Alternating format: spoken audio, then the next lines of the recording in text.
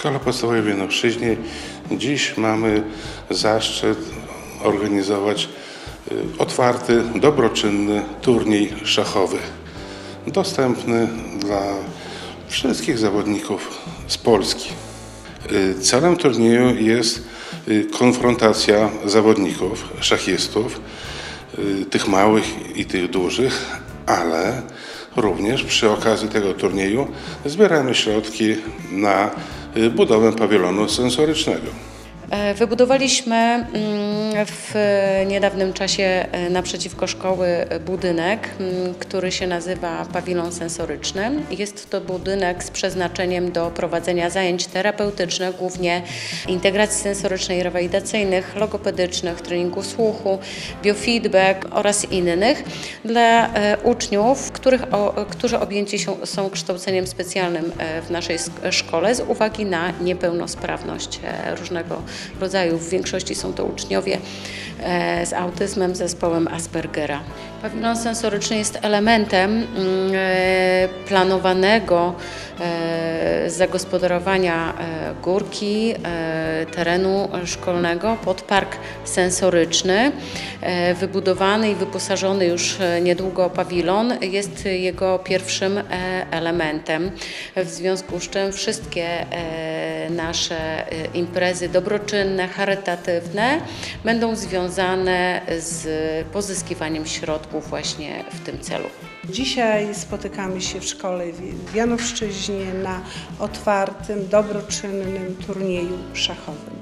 I jest to dla mnie, jako członka zarządu województwa podlaskiego, która e, pracowała na rzecz naszego regionu przez ponad 5 lat, za Waszym pośrednictwem przekazanie społeczności naszego regionu o tym, że Między innymi ten turniej dzisiaj szachowy ma wspomóc główny cel, czyli budowa budynku sensorycznego przy tej szkole, która będzie służyła dzieciom, w szczególności, w szczególności dzieciom autystycznym.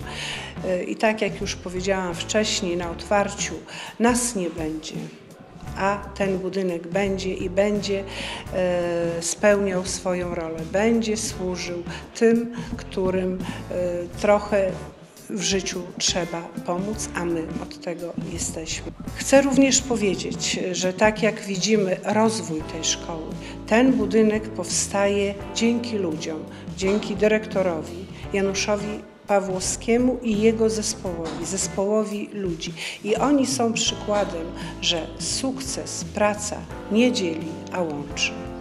Y, Przewidujemy wiele imprez y, w naszej szkole po to, aby móc y, zbierać pieniążki na budowę obiektu, który będzie służył wszystkim dzieciom, a szczególnie tym potrzebującym pomocy specjalnej.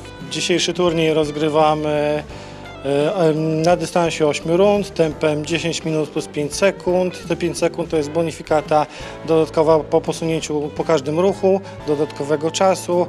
E, Postaramy się wyłonić dzisiaj najlepszego zawodnika z naszego województwa podlaskiego i nie tylko, bo turniej, turniej ma rangę, e, rangę na całą Polskę.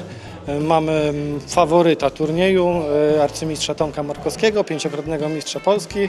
E, Byłoby fajną niespodzianką, żeby ktoś chociaż jedny pół, pół punkcika nawet mu urwał, to byłaby miła, myślę taka miła niespodzianka. Znaczy ja mogę tylko powiedzieć, że ja staram się grać tutaj w każdym turnieju, który Sokółka organizuje, pan Karol Busiński. E, Organizuje teraz turniej tutaj w Janowszczyźnie drugi raz. Rok temu też chciałem zagrać, ale pamiętam, że był robiony w maju i akurat e, syn miał komunię, także nie mogłem. Także no, dzisiaj będę miał pierwszy raz okazję tutaj zagrać, z czego się bardzo cieszę. Turniej e, rozgrywany open, bez kategorii, e, każdy ma możliwość startu, mm, bez różnicy na wiek, na, na płeć i na kategorię. Pary dobiera komputer systemem szwajcarskim. E, Pierwsza, pierwsza runda to dzieli tabelę na dwie połówki, górną, dolną i do, dobierani są pierwszy z pierwszym, drugi z drugim z tabeli. Następne to już e, wygrany z wygranym i, i tak kolejno. E, Po to, żeby po prostu wyłonić mniej więcej koło tej czwartej, piątej rundy już taką ścisłą czołówkę. Za zwycięstwo y, w dzisiejszym turnieju marszałek województwa ufundował y, nagrodę główną, y, to jest 1000 zł oraz puchar. Drugie miejsce to jest 500 zł oraz puchar i trzecie miejsce 250 zł oraz puchar za trzecie miejsce. Y, Wszyscy uczestnicy otrzymają pamiątkowe medale, słodycze. Wyróżnimy jeszcze najmłodszego uczestnika, wyróżnimy najlepszą kobietę wśród szachistów, wyróżnimy juniora do 14 lat.